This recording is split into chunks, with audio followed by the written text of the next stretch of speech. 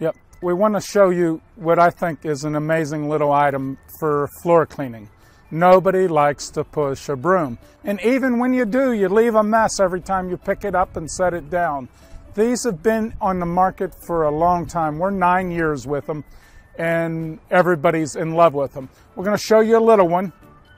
It picks all your product up, it throws it in a hopper, you pick up the hopper, you dump it out. You do not have the dust, the plume of dust all over the building that comes from her broom. Michael's going to go ahead and use the small one.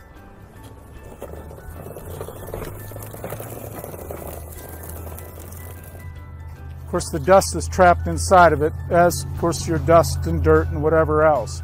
So, this is a uh, uh, smaller than we're going to show you the heavier and more industrial piece of equipment.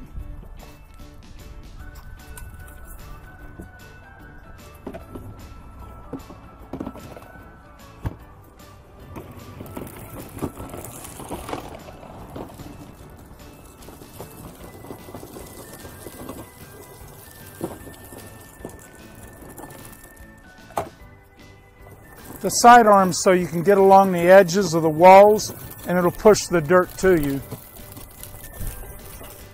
And then if you'd open that, again, we're trapping the dust inside here as well as the dirt.